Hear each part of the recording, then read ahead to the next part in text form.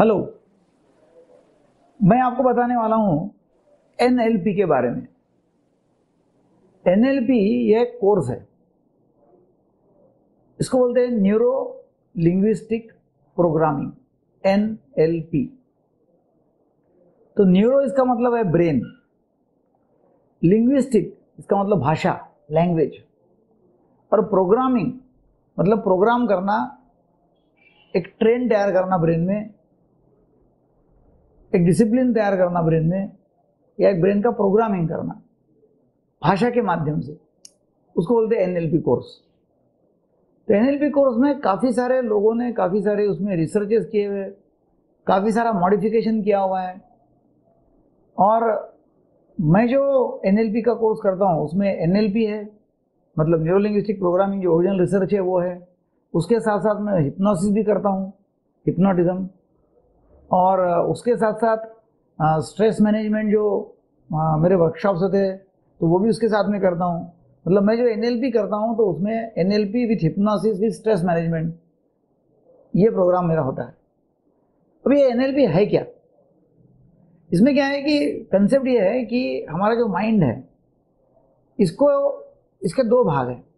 एक है conscious mind एक है सबकॉन्शियस माइंड कॉन्शियस माइंड जो है, वो दस टका है। टेन परसेंट और सबकॉन्शियस माइंड जो है, वो है नाइन्टी परसेंट मतलब समझो, हम ये देखते हैं कि ऐसा वो आइसबर्ग फिनोमेना आपको मालूम होगा कि बर्फ़ की चट्टान जब समुन्द्र में रहती है ना तो वो बर्फ़ की चट्टान का दस टका हिस्सा जो है ना, वो रहता है पानी के ऊपर. और नब्बे टक्का हिस्सा जो है रहता है पानी के नीचे. हमारा माइंड का भी वैसा है.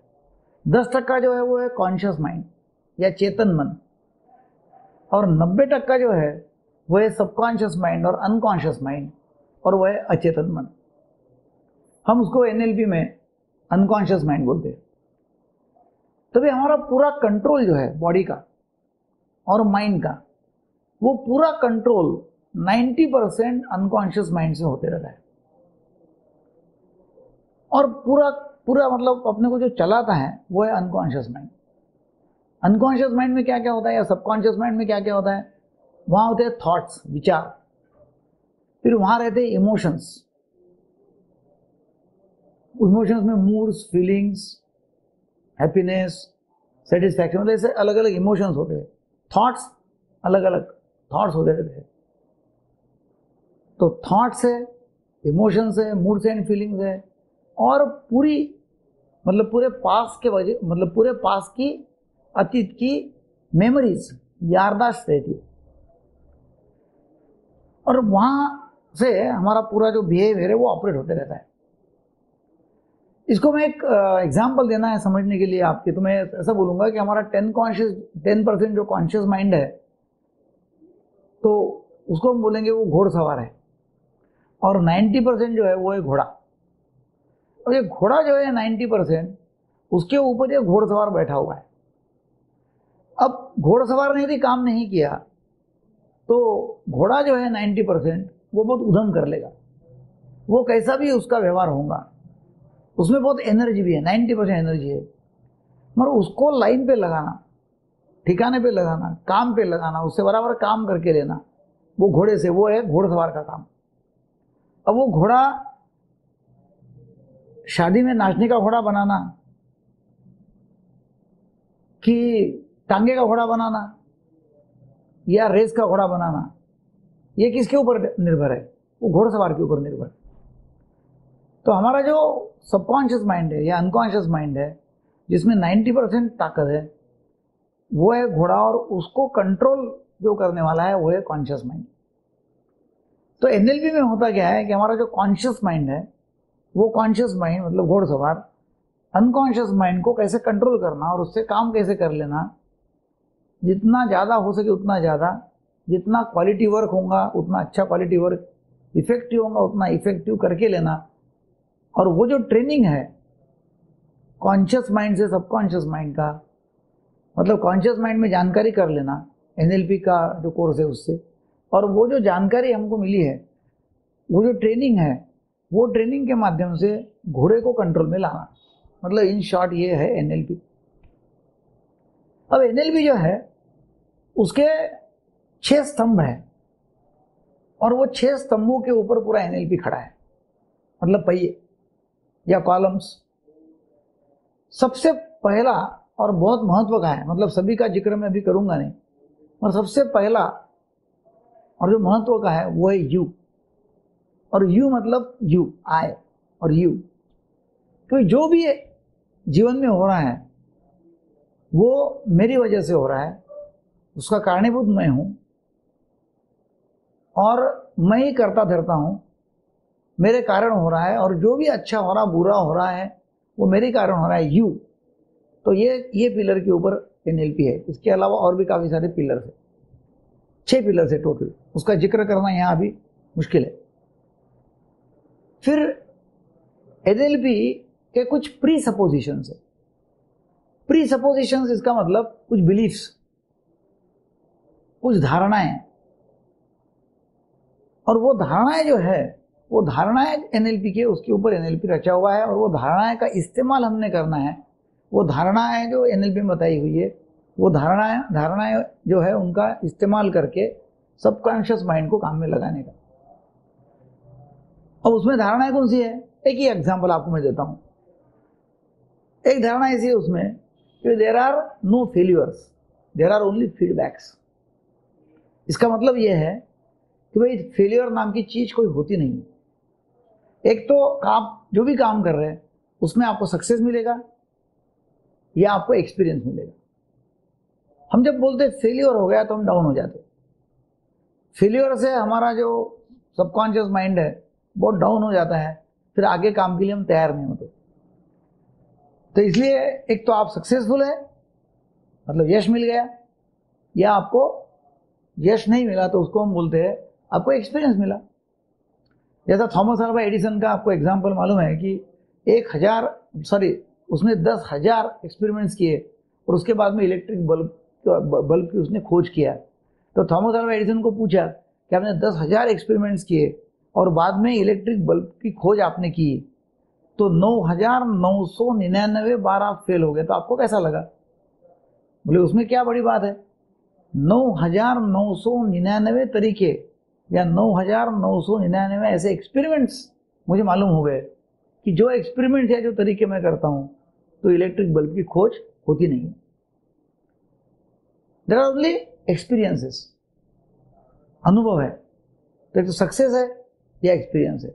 ऐसे काफ़ी सारे प्री सपोजिशन है कि जिसका इस्तेमाल हम करते हैं और हमारा जो कॉन्शियस माइंड है, घोड़सवार, वो घोड़े को कंट्रोल में, काबू में लाएगा या ला सकता है। एनएलपी के पूरे वर्कशॉप में, पूरे जो टीचिंग है उसमें काफ़ी सारी एक्सरसाइजेस है, काफ़ी सारे टेक्निक्स है। तो एक टेक्निक है फॉर एग्जांपल कि जो बैड मेमोरीज जो है, उसको साफ़ कैसे करना दिमाग में से। So washing out bad memories तो नंबर है नंबर दो है, एक बहुत ही पावरफुल टेक्निक है, वो है स्विश टेक्निक स्विश टेक्निक से हमारे सबकॉन्शियस माइंड में जो भी कोई ऐसे इनएडिक्वेसी है या अपयश है या जो भी कुछ धारणाएँ हमारे दिमाग में गल, गलत से बैठी हुई है या कोई डर है तो वो सब पूरा निकल जाता है। फिर तीसरा जो है वह है एंकरिंग एंकरिंग में होता क्या है कि हम एंकर्स हमारे बॉडी में क्रिएट करते हैं। और जो भी उल्लसित उत्साहित जो स्टेट है बहुत ही एनर्जेटिक एंथुजियास्टिक हैप्पीनेस की स्टेट जो होती है, वो उल्लसित हैप्पीनेस सेटिस्फैक्शन वाली एनर्जेटिक वाली स्टेट वो स्टेट को हम एंकरिंग करते हैं। एंकरिंग मतलब ऐसा हुक कुटी। तो वो करके फिर हम जब चाहे तब ये स्टेट हम ला सकते हैं। खुशियों की स्टेट एनर्जी की स्टेट ऐसे जब चाहे तब।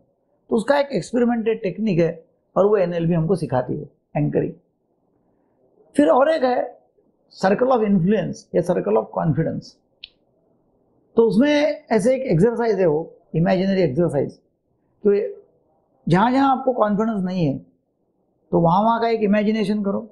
जहाँ जहाँ कॉन्फिडेंस आपको है, वहाँ का इमेजिनेशन करो. और वो एक एक्सरसाइज के माध्यम से कॉन्फिडेंस नहीं है नहीं है वो स्थिति में कॉन्फिडेंस वाली स्थिति को लाओ. और उसके लिए भी एंकरिंग किया हुआ है. और एक सर्कल में खड़े रह के वो पूरा एक एसिड अपने, अपना ये जो है, एक लिक्विड जो है, वो लिक्विड अपने बॉडी के ऊपर पूरा पूरा जा रहा है। और इमेजिनेशन करके करके करके करके पूरा कॉन्फिडेंस आ रहा है। मतलब काफ़ी सारे काफ़ी सारा टाइम कंज्यूम एक्सरसाइज है वो स्पेशली उसके लिए है। तो सर्कल ऑफ़ इन्फ्लुएंस नाम की एक एक्सरसाइज है। वो एक्सरसाइज करते तो उससे कॉन्फिडेंस में बहुत सारा फ़र्क पड़ता है। भय निकल सकता है। फिर एक न्यूरोलॉजिकल अलाइनमेंट करके एक्सरसाइज होती है। ये न्यूरोलॉजिकल अलाइनमेंट क्या है? क्या होता है कि हमारे एनवायरनमेंट में बातें होती रहती है, जो भी कुछ, और उसका रिप्रेजेंटेशन हमारे दिमाग में होता है। मतलब एनवायरनमेंट में एक है एक्चुअली में, और दूसरा है हमारे दिमाग में।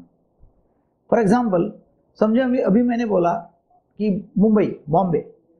तो बॉम्बे का, बॉम्बे एक्चुअली बॉम्बे है, और दूसरा एक रिप्रेजेंटेशन मेरे दिमाग में है। हर बात का होता है। तो जैसा एक तो एनवायरनमेंट है, वो एनवायरनमेंट मेरा कैसा है?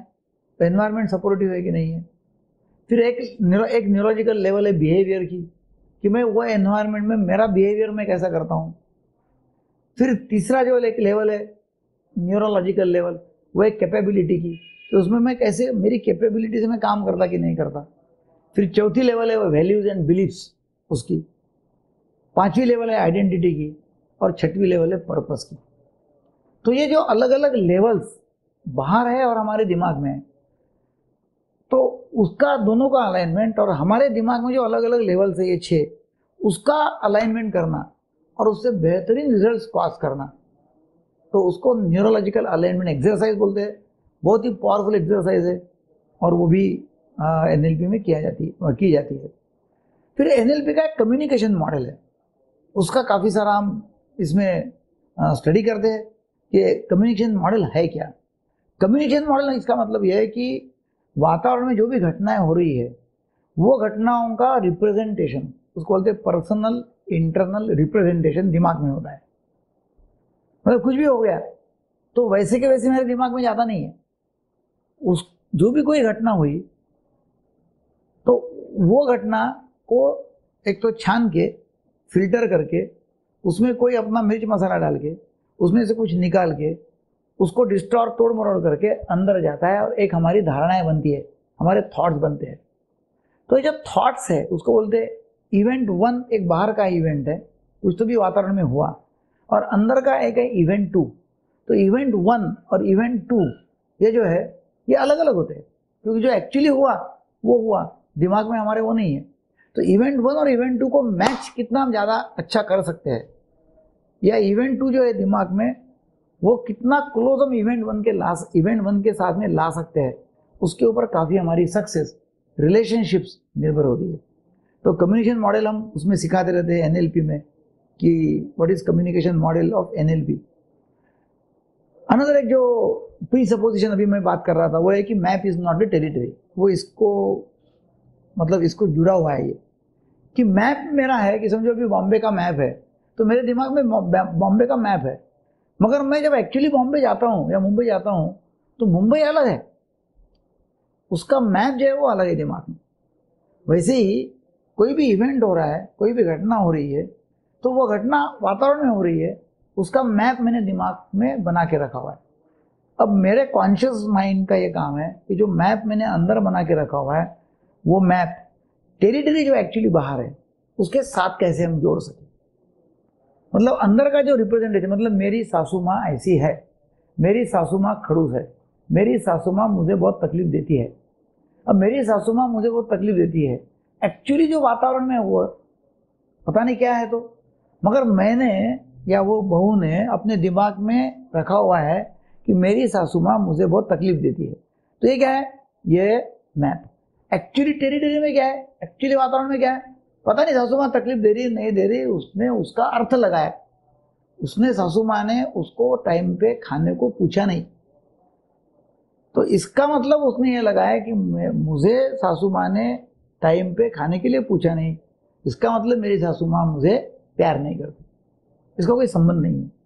मगर मैप क्या बना हुआ है? मैप ये बना, बनाया हुआ है कि मेरी सासू माँ मेरे से प्यार नहीं करती। एक्चुअली वातावरण में क्या है? एक्चुअली वातावरण में उसने टाइम पे खाने को नहीं बुलाया। इतना ही है। और टाइम पे मतलब कौन सा टाइम ये भी कोई ठहरावा नहीं है। तो प्री सपोजिशन एनएलपी का ये है कि map is not the territory फिर और सारी काफ़ी एक्सरसाइज है। Like like phobia buster phobia जो है, दुर्भीति या डर, वो कैसे निकालना? उसके बारे में एक्सरसाइजेस है। डिप्रेशन के बारे में एक्सरसाइजेस है एनएलपी में। फिर रिजल्ट्स एनएलपी रिजल्ट्स के लिए बहुत ही सजग है। बहुत ही अटेंशन मतलब उसके रिजल्ट्स के ऊपर आउटकम के ऊपर बहुत ही एम्फोसिस किया जाता है। क्योंकि हमारा जो भी कोई काम हम करते हैं, कुछ भी हम जो कर रहे हैं, हमारा मकसद एक है कि भाई उसमें से आउटकम निकलना चाहिए, उसके लिए हम करते हैं। तो आउटकम कैसा बेहतरीन हम निकालेंगे, जब हम कोई भी काम करते हैं वहाँ से, और आउटकम निकालने के लिए हमने क्या क्या करना चाहिए? वो रिज़ल्ट पाने के लिए हमने क्या क्या करना चाहिए? तो वो आउटकम बेस्ट निकालना है। उसके लिए मैंने मेरे सबकॉन्शियस माइंड को मतलब घोड़े को, ये घोड़सवार ने कैसा ट्रेन करना है, ताकि मैं बेस्ट रिज़ल्ट ला सकूँ। तो आउटकम के बारे में फिर डिस्नी क्रिएटिव लैंड है तो उसके बारे में फिर काफ़ी सारी एक्सरसाइजेस है, फिर बबल एक्सरसाइज है, जैसे काफ़ी एक्सरसाइजेस है, कि जो एक्सरसाइज के माध्यम से घोड़सवार जो है मतलब हमारा कॉन्शियस माइंड वो अपने सबकॉन्शियस माइंड को ट्रेन करेगा। तो ये आपको जब भी मौका आता है तो आप ये N L P neuro linguistic linguistic programming neuro linguistic programming ये प्रोग्राम आप ज़रूर कीजिएगा। और अपने आप को एक अलग लेवल पे आप लेके जाएँगे तो डेफिनेटली अपने लाइफ में आप सक्सेसफुल हो जाएँगे। तो आपको बहुत बहुत बेस्ट विशेष शुभकामनाएँ। Thank you very much